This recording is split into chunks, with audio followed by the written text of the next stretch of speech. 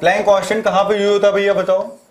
तो Planck constant use होता है लाइट के जो एलिमेंट्री पार्टिकल्स होते हैं फोटोन उनकी एनर्जी लिखने पे। एक फोटोन की एनर्जी फोटोन एक एनर्जी का बंडल होता है तो एक फोटोन की एनर्जी होती है इज़ इक्वल टू एच नू ई उस फोटोन की एनर्जी है और न्यू फ्रीक्वेंसी है। एच होता है Planck constant 6.6 point six into ten power minus thirty four joule second ये इसकी वैल्यू है। कांस्टेंट है बट कांस्टेंट डायमेंशनलेस नहीं है।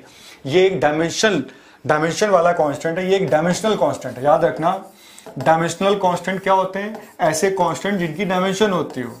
जैसे कि जी जैसे कि एच जैसे कि C gravitational constant Planck constant light की स्पीड है कांस्टेंट बट इनकी डायमेंशन होती है। तो constant may be dimensionless constant may have dimension और जो कांस्टेंट डायमेंशन रखते हैं, उनको डायमेंशनल कांस्टेंट कहते हैं, जैसे कि जीएचसी एच की बात करें तो E energy M L two T minus two H Planck constant निकालना है frequency T minus one cut आएगा तो प्लैंक कॉन्स्टेंट की dimension M L two T minus one आ जाएगी।